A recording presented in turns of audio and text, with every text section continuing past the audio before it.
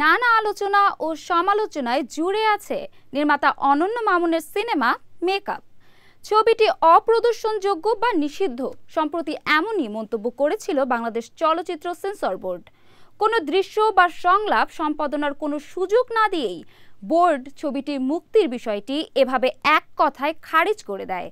তাই একেবারে আনকার্ট অবস্থায় ছবিটি ওটিটি প্ল্যাটফর্মে মুক্তি দেওয়ার সিদ্ধান্ত নিয়েছেন নির্মাতা।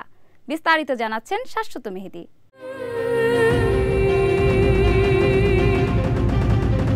যেখানে প্রেম ভালোবাসা আবেগ কোনো কিছুর মূল্য নেই। ঢাকাই ছবির তারকাদের জীবনের গল্প নিয়ে নির্মিত হয়েছে সিনেমা মেকআপ। ছবিটি পরিচালনা করেছেন নির্মাতা অনন্য মামুন। এক ঝাঁক তারকা নিয়ে ছবিটি নির্মাণ করা হয়েছিল। তবে নানা আলোচনা ও সমালোচনায় জুড়ে থেকেছে এই ছবিটি। আসলে ইন্ডাস্ট্রি চলে হিরোদের জন্য। হিরোইনরা সেখানে একটা মশালা। ছবিটি অপ্রদর্শনযোগ্য বা নিষিদ্ধ।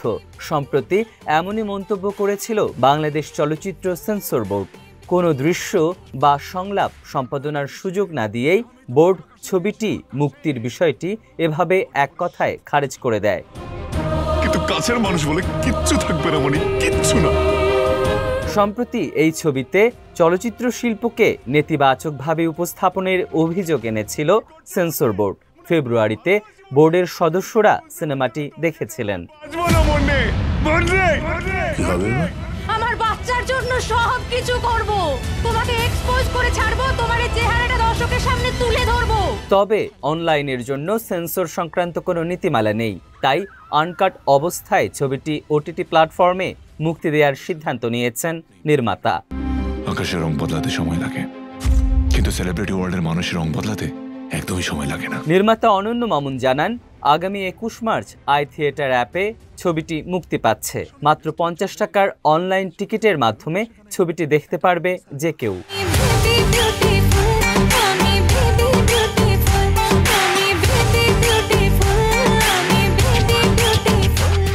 জানা গেছে আগামী একুশ মার্চ রাত আটটায় ওটিটি প্ল্যাটফর্ম আই থিয়েটারে সিনেমাটি দেখানো হবে।